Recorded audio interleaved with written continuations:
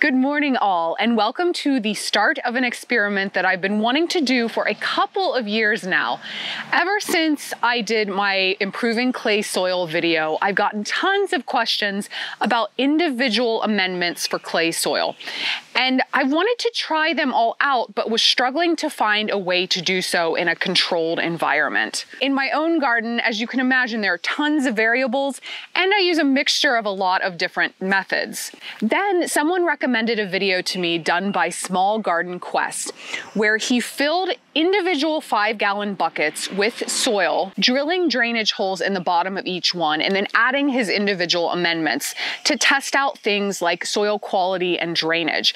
It was a really interesting and well done video, but he didn't cover all of the amendments that I was interested in, and I also wanted to see what actual plants would be like growing in the different amended clay soils. So I decided to set up my own version of that experiment.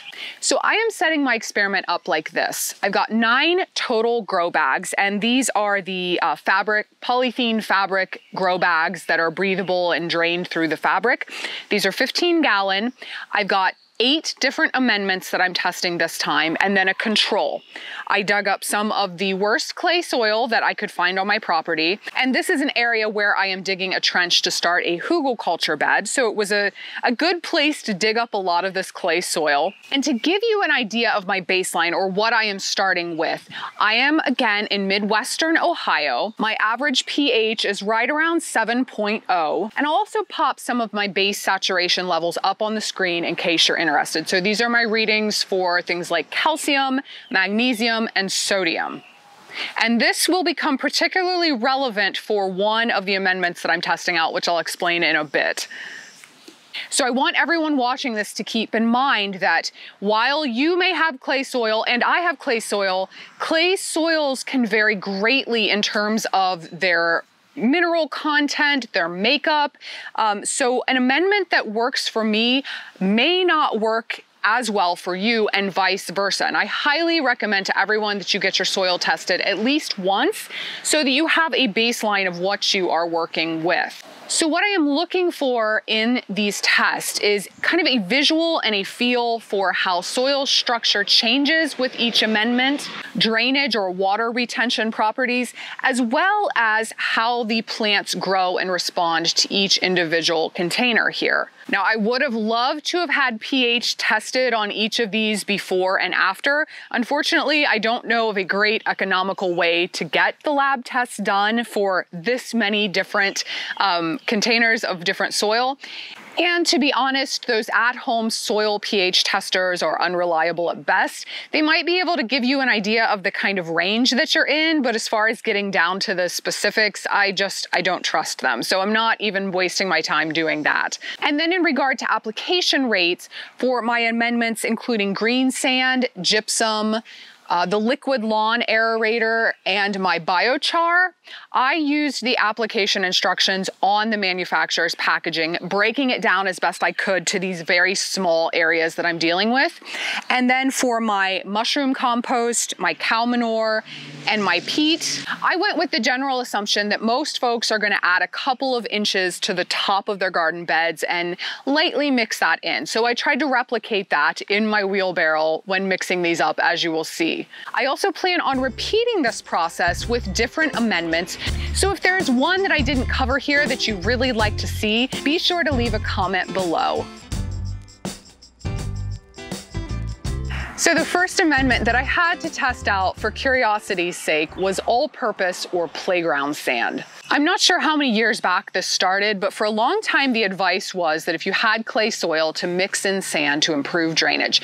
This seems logical. Sandy soils have almost the exact opposite properties of clay, so it would seem like mixing the two together would result in something more manageable. But the general advice now is to avoid sand, in particular the all-purpose, you'll also see it called playground or fine sand, because adding this to clay soil can supposedly result in something akin to concrete. Note that this is opposed to horticultural sand, which supposedly can help drainage in clay because of its larger grain size, which allows small little passages for water to get through. Now, I have had less than stellar results with a load of very, very sandy topsoil that I had trucked in to fill some of my beds, but I've never added sand directly to my clay soil.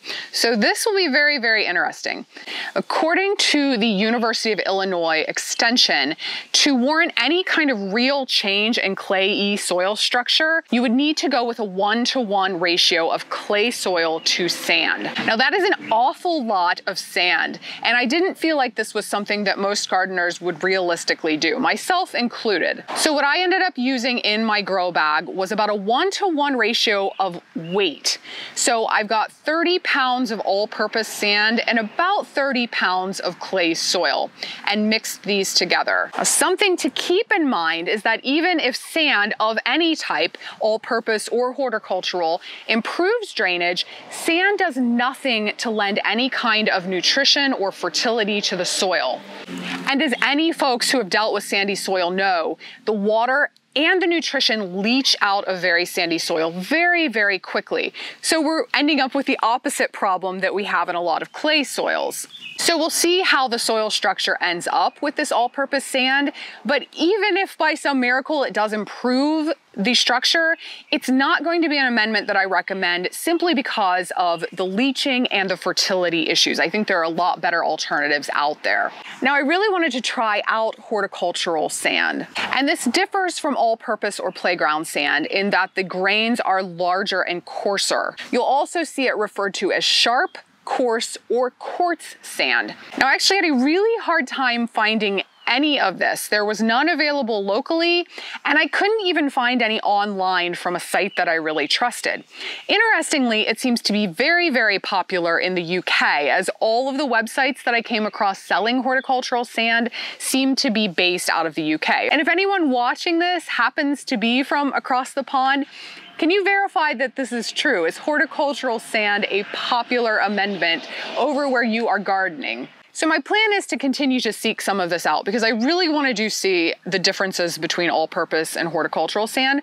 In the meantime, I decided to use sustainably harvested peat instead opting for this because it is a readily available amendment that is still commonly recommended in my area. Peat, according to the International Peatland Society, is the surface organic layer of a soil that consists of partially decomposed organic matter, derived mostly from plant material, which has accumulated under conditions of waterlogging, oxygen deficiency, high acidity, and nutrient deficiency.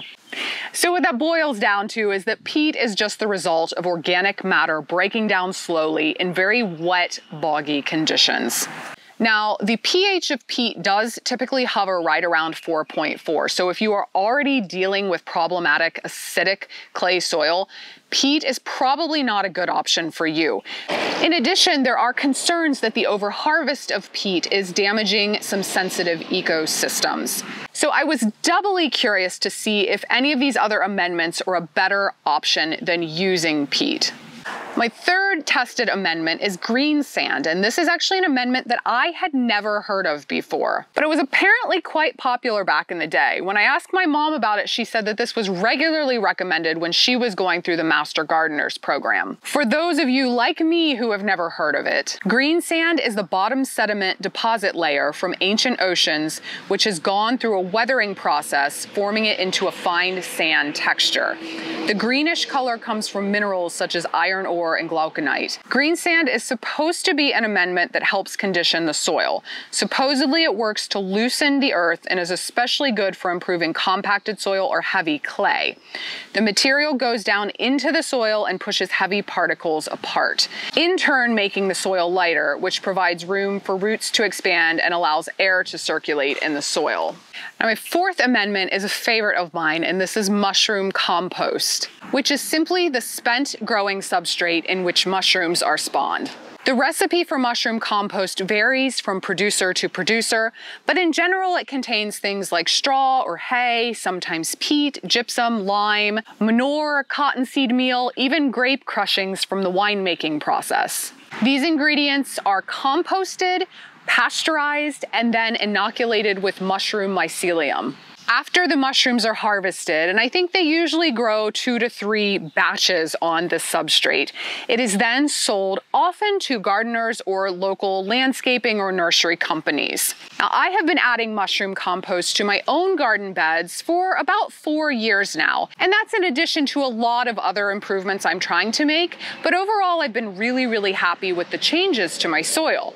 Now again, speaking of controlled experiments, I can't really tell if it's the mushroom compost or these other measures that I've been taking, so this will help me see what just the application of the mushroom compost does to my clay soil. And number five is another favorite of mine, and this is aged cow manure. Now, being as we live in Midwestern Ohio and we're surrounded by farms, a lot of dairy farms, um, meat cattle is raised here, there seems to be an endless supply of cow manure. And I've noticed that if you ask an owner of any beautiful old farmhouse garden in this area what their secret is, they will often tell you that it's cow poop. And we use this extensively at my mom and dad's place. And we have the farmer just bring in wagon loads and dump it, and we add to the garden beds as necessary. I recommend using aged or composted manure. If you have fresh manure and want to add it to your beds, just be sure to leave it sit for a good amount of time before planting, as fresh manure can burn tender young plants. Generally, adding in the fall and then waiting to the following spring to plant is sufficient time.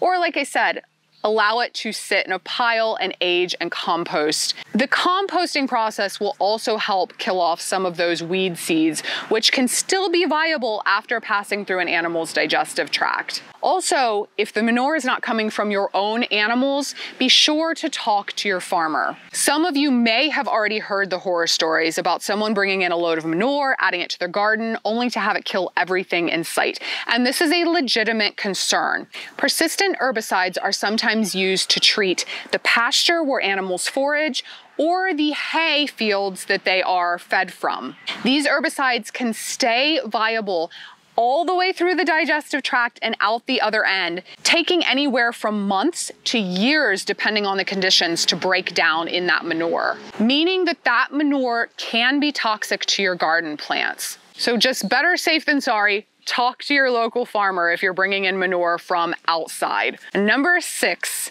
so, so, so many folks left comments on my improving clay soil video. Just berating me for leaving gypsum out of my suggestions. Now, based on my specific soil makeup, I have been very hesitant to jump on the gypsum bandwagon. But for the sake of this experiment, I had to include gypsum in the lineup.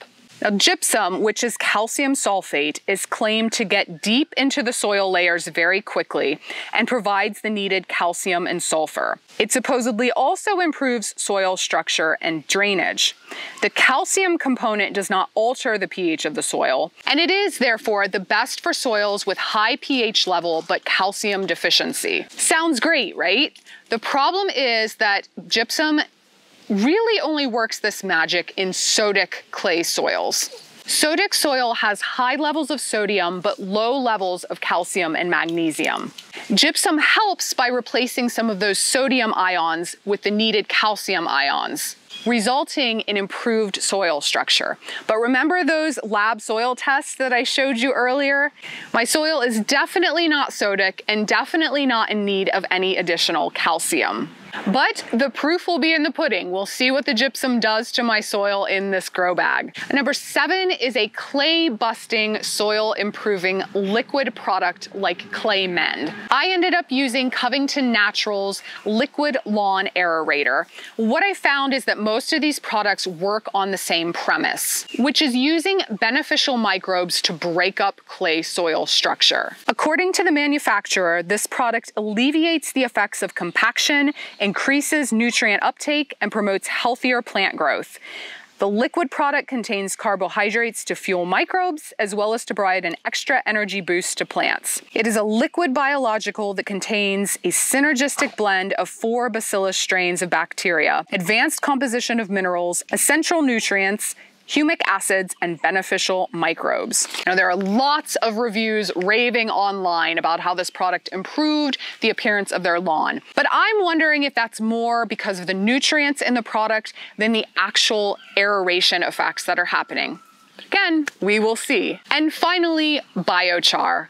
I'll admit, I really, really wanted this one to work. I am fascinated by the concept of biochar. Biochar is a substance obtained by burning biomass. This can be any organic material, often wood, plant residues, manure, or food and agricultural waste in a low oxygen environment.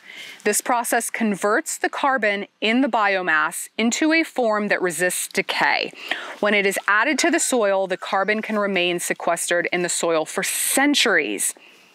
Far from being a modern innovation, this practice is said to have originated in the Amazon basin in pre Columbian times, with indigenous peoples using a slash and char method to create biochar rich soil ideal for growing crops. Supposedly, biochar provides your soil with better water retention, higher fertility, and improved structure. I've done some indoor growing of tomatoes and lettuce using biochar mixes and have been really, really pleased with the results. But there has been some research done which shows that biochar may not be equally suited for all soil types. Research done by an assistant professor at Michigan State University has shown that well-drained sandy soils experience biochar benefits such as increased soil moisture retention, but that moderately well-drained and or clayey soils may not always respond as well. Also, like many products, the quality of biochar can vary vastly depending on production methods and the raw materials used.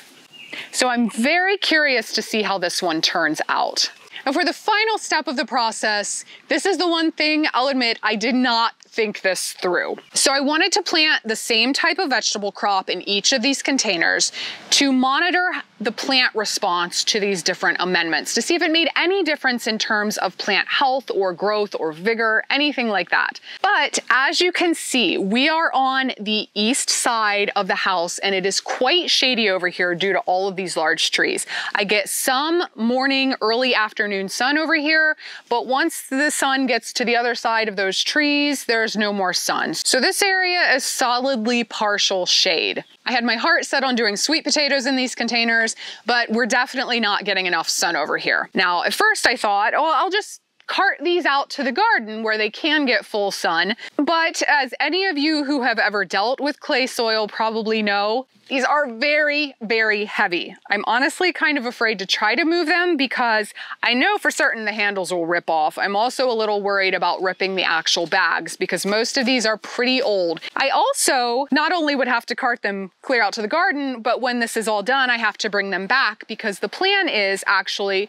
to build a hugelkultur bed here. So all of this soil is going to get dumped back on top of this area. So in lieu of trying to move these, I'm going to be going with some beets and and radishes planted in these containers. It is not the ideal season for them. I typically stick to growing those crops in the spring and in the fall during the cooler weather, but I really, really wanted to plant something in here that not only is gonna put up with partial shade, but is also going to potentially show any ill effects of soil that it doesn't like. And root crops are a pretty good one for that. And then live and learn. When I do my next round of soil amendments, I'm hoping to have them all out in full sun. And be sure to stay tuned for the second half of this experiment. I'll show how the beets and radishes performed, and we're going to dump these containers completely out into a wheelbarrow so that we can get a really good look at how the soil has changed. Thanks for watching, and I'll see you next time.